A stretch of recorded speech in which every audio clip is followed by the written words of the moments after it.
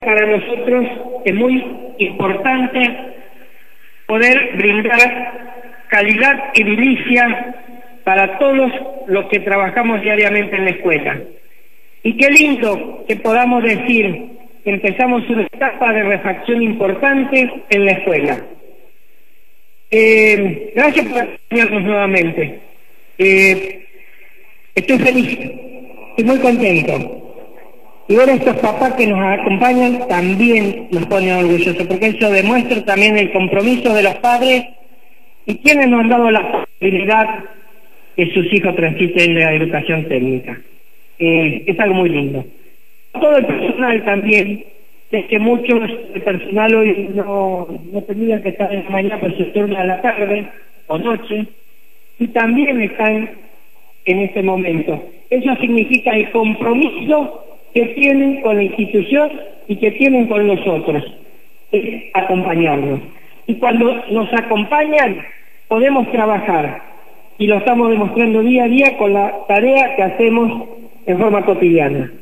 Gracias y bueno, te voy a dar el micrófono, Pablo. Bueno,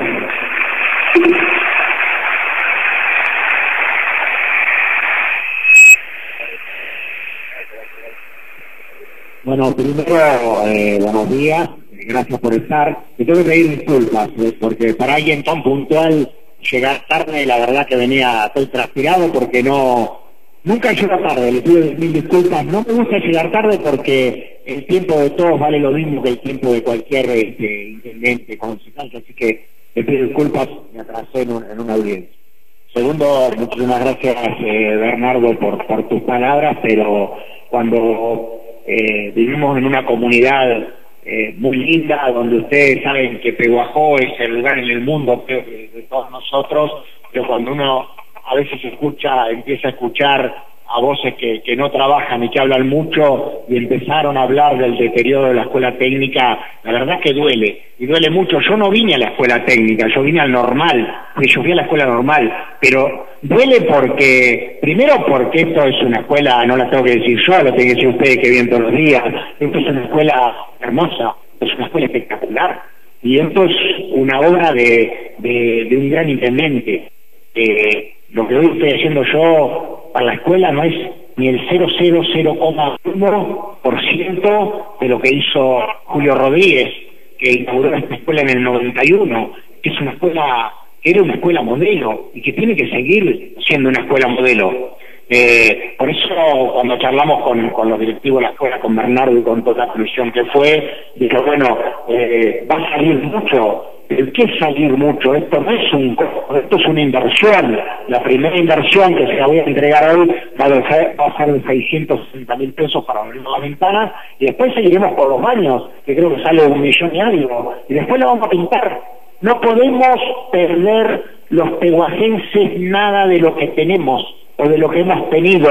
Eh, no hay que perder. Nosotros los peguajenses estamos para ganar no para perder. A nosotros no nos podemos haber quedado, nos habíamos quedado, aunque parezca menor, sin una pista de ciclismo, sin la pastora, sin el Zoom que tenemos al lado del hospital. Los peguajenses nos habíamos acostumbrado a perder. Nosotros no estamos para perder, nosotros estamos para ganar. ¿Qué es ganar en una escuela?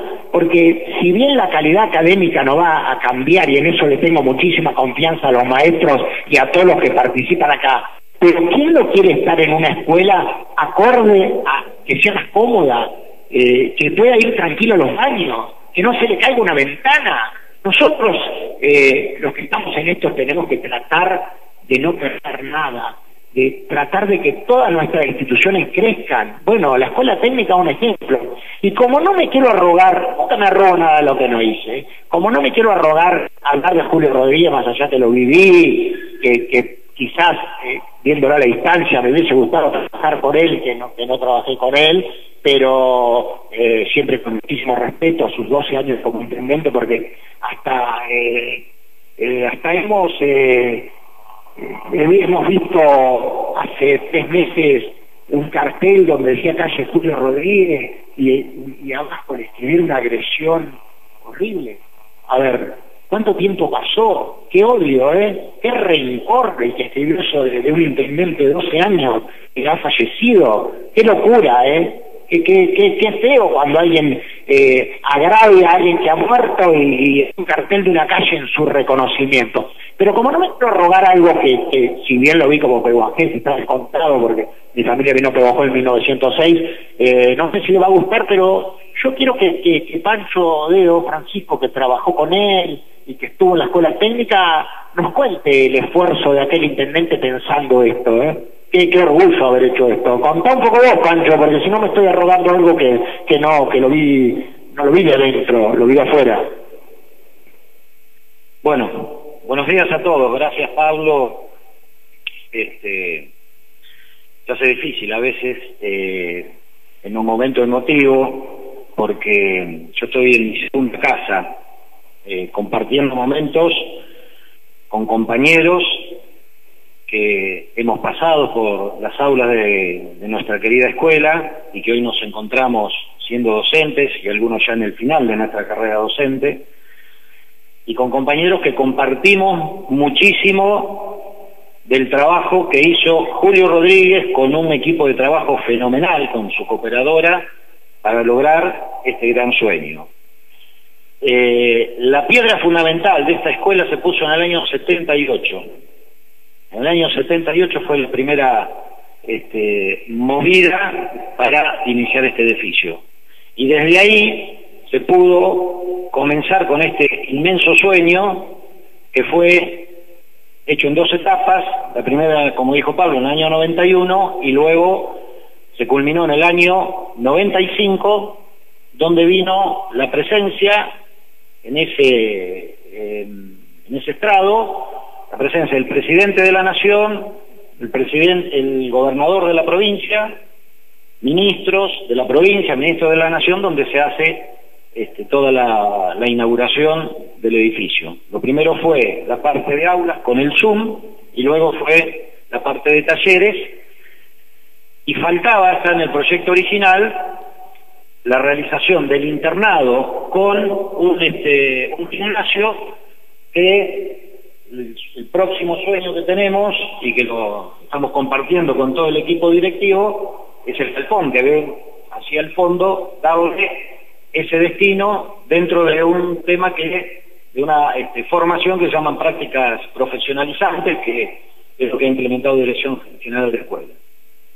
Esto es un sueño que se trabajó muchísimo, muchísima gente participó, nosotros en ese momento a través de Cooperadora recaudamos en una rifa muy famosa que teníamos a nivel regional, que se rifaban este, gran cantidad de autos en una gran cena que hacíamos que entoldábamos la cancha de Boca Juniors y, este, y en ese momento la calle Oyuela, muchos que tienen mi edad lo van a recordar, la calle Oyuela que era de tierra, era donde se ponían los asadores y este, venía un servicio de un señor que se llama Carabajal, que era de General Villegas, y nos brindaba todo ese servicio para 2.000, 2.500 personas, donde todos participábamos, docentes, alumnos, padres, la comunidad educativa que trabajó y acompañó siempre esta escuela, fue muchísima, y un acompañamiento desde el corazón, desde el compromiso, desde el querer una mejor educación, no solamente para quienes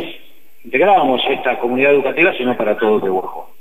Es mucha historia, Pablo, es muchísima. Este, han pasado mucha gente que ha tomado un gran compromiso, la educación técnica que no es una, educación ni mejor ni peor que otra, es una educación diferente, donde la tecnología es lo que le da la impronta a nuestro modelo de, educación.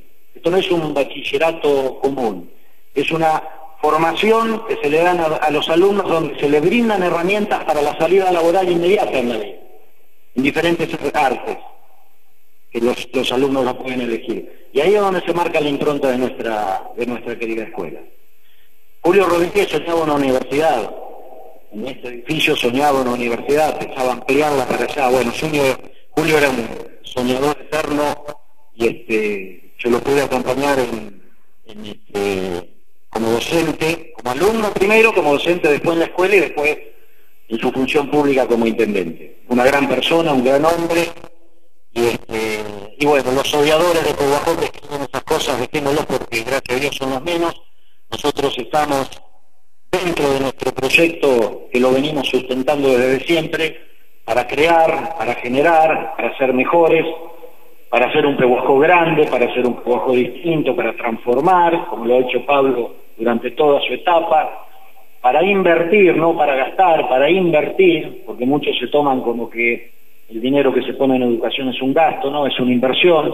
Nosotros este inmenso edificio lo queremos tener de la mejor manera posible, y cuesta muchísimo, por eso agradecemos, yo me pongo un poco desde el Estado y también como docente, agradecemos el aporte de Pablo, este, que haya decidido destinar estos fondos públicos, que muchas veces se discuten, sin saber absolutamente nada, pero agradecemos que Pablo haya destinado estos fondos públicos para eh, nosotros al edificio y que esto se pueda mantener y que fundamentalmente los alumnos y los docentes puedan brindar sus clases, puedan eh, desarrollar su tarea en un ámbito eh, más propicio y más confortable.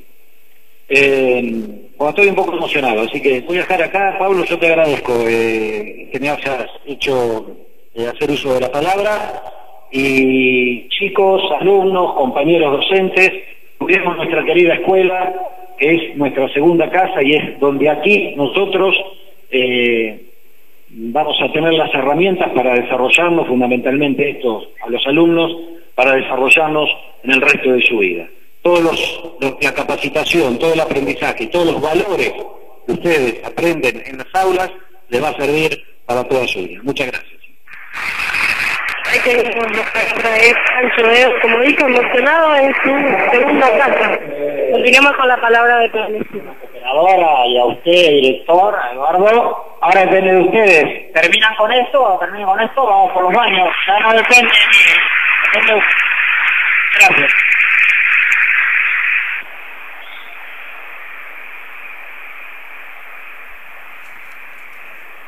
Bueno.